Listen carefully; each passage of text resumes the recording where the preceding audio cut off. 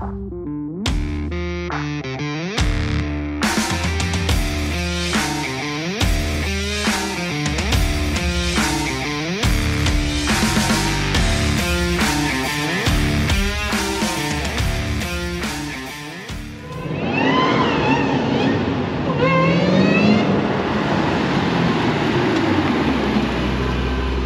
guys.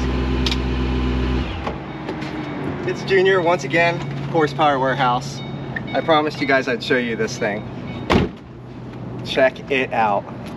It's not just a Shelby. This is a real deal Super Snake. 2007. You know me. I'm Horsepower Warehouse. I if I have an exciting horsepower performance-based car, I gotta share it with you guys.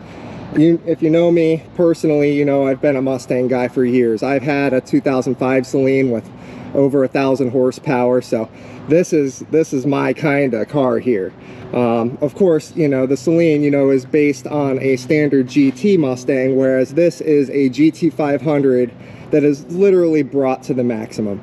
So in 2007, you could actually purchase a GT 500 direct from Ford and then have them send it directly to Shelby where they could put on this monster package.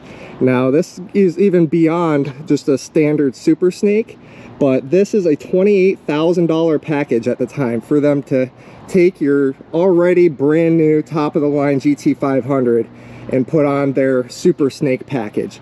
Well, it comes with a lot. I mean, you are getting quite a bit for your $28,000 and I'm gonna rattle through all the options really quick on what you get here um, just because there is a tremendous amount. So the super snake hood obviously with the pins the carbon fiber front fascia the carbon fiber mirrors the carbon fiber rockers. You have aluminum hood inserts for the grills. You have Shelby deck lettering in the rear you have Super Snake badging on the front and rear fenders.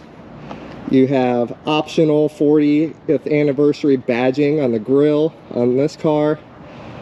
You have sequential taillights. You have matte black uh, striping, front and rear brake ducts, side scoops, quarter window scoops. You have a numbered dash piece, numbered engine plaque, numbered door sill plates, a light bar in the rear if it's a convertible. Super Snake floor mats. You have a, a billet engine kit. You have a center cluster kit with all carbon fiber Autometer gauges. Um, aluminum Shelby map light accent. Uh, door lock knobs are aluminum. Uh, just all sorts of aesthetic stuff. But in addition to that, for performance, you have the coilover suspension, you have the sway bar, that's 700 plus horsepower sway bar. I don't know why they call it that, but they do. Borla catback. You have the supercharger system. You have two options with the horsepower. You could get a 600 or you can get the 725 package. This, of course, has the Kenne Bell 725 package. If you went with a 600 horsepower, you would have had a Ford Racing supercharger. And when you go with either of those, you have it available in black or polished. This also has the Ford Racing suspension that they did in conjunction with Eibach. It's got the Shelby slash Baer Extreme 6-piston front and rear brakes. It's got a really, really gnarly uh, billet short throw shifter. This thing is the, probably one of the shortest six-speed shifters that I've actually encountered. Um, cold air intake, 373 to 1 differential and the 725 horsepower is also comes with a one-piece drive shaft. Cap it all off with these 20-inch Shelby Alcoa wheels and the Pirelli P0 is what comes factory but this guy upgraded it to these Pilot Sport 4S Michelins. Whew, holy moly that's a lot of stuff to put onto your already top-of-the-line GT500 but let me show you guys just some details here. I mean the carbon fiber on the car is absolutely fantastic. I love the carbon side skirts, carbon mirror caps, carbon front splitter in the front. Really looks cool. You'll notice this car has the K40 radar and anti-laser integrated into it. It's kind of hidden. That's probably the only thing that'll tip you off that it even has that system.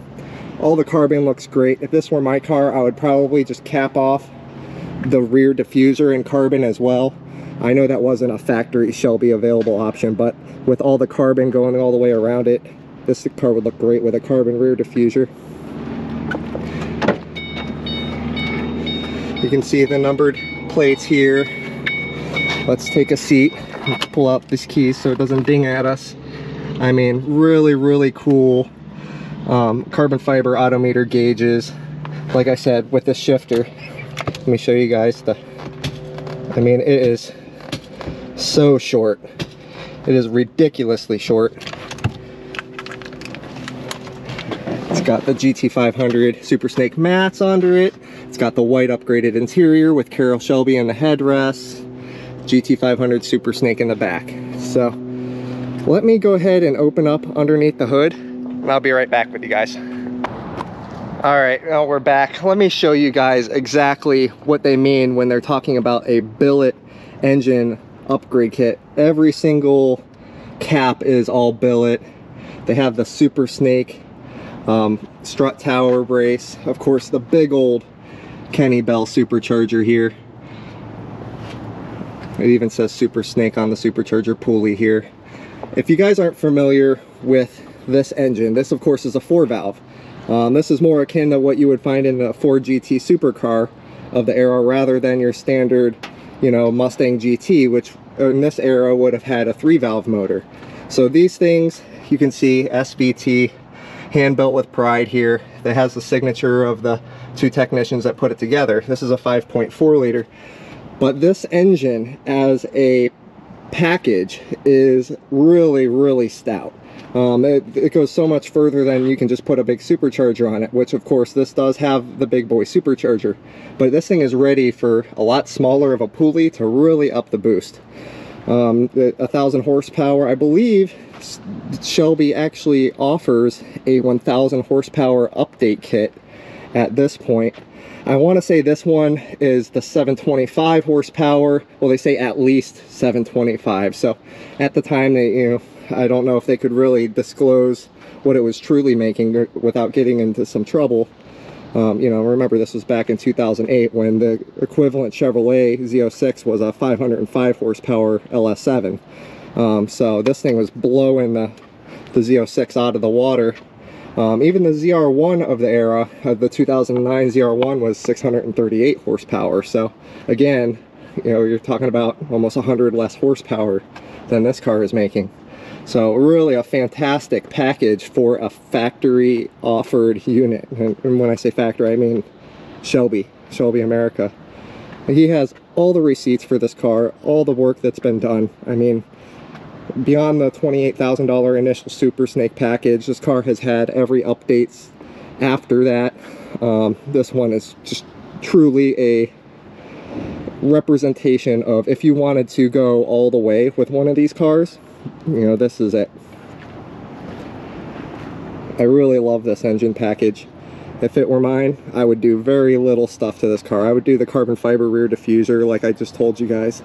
And I would maybe, maybe start looking into a smaller supercharger pulley with like a Gates green belt. So I'm sure this doesn't slip, but I just am a stickler for the highest quality supercharger belts that I can get my hands on. I really like how it's got the K&N filter with Kenne Bell in it. I mean, there's a lot of detail into this car that really you, you notice more and more as you go through and walk around it. It's it's more than just a, a package that was converted. You could tell that this thing at no point in his life was a V6 Mustang. You know, this I actually had a V6 car of this era as well. And this thing is just so far beyond, you know, what the standard car would be let me know what you guys think. I really am a fan of this package obviously you know i'm i'm known as the mustang guy. I build a, a heck of a lot of chevrolet products but you know this is when i was a kid this is what i spent all my money on. Super snake alcoa wheels are just absolutely incredible. I like how it says forged. Shelby super snake. I would not change the wheels for anything really really like them I'm happy that the guy put the high quality Michelin rubber on there rather than the Pirellis. Uh, I'm not a fan of the P0 rubber. I had them on my Saleen as well, and the P0s were just, there's no way to get it to hook. There is no way. Even with these, uh, now you're looking at a 295 3520, you really have to respect this, this car in terms of throttle input because it will absolutely grenade those rear tires at a 40 mile an hour roll. You aren't just stabbing the throttle in this car. You have to roll into it. You have to respect the power. And now this isn't my car. I, I haven't raced this or really even driven this aggressively. Um, but I, I, am familiar with what it's capable of doing. Like I said, my Saleen was over a thousand horsepower and um, this is a fantastic car to for a street cruiser. I mean, what do you guys think below? Please comment if you like reviews like this rather than I, wanted to do a car review just because my channel is getting a little monotonous with my Corvette builds.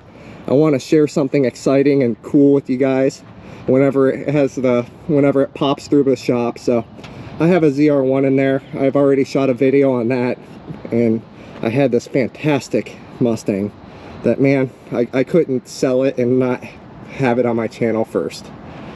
So if you guys like reviews like this please comment down below. And thank you guys so much for watching. But until next time take care